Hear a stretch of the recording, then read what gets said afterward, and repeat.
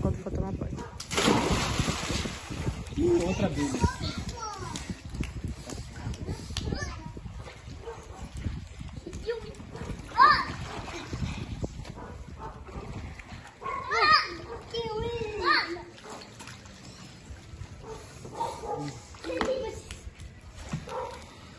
Então pega, amor. Pisa nela. Por favor.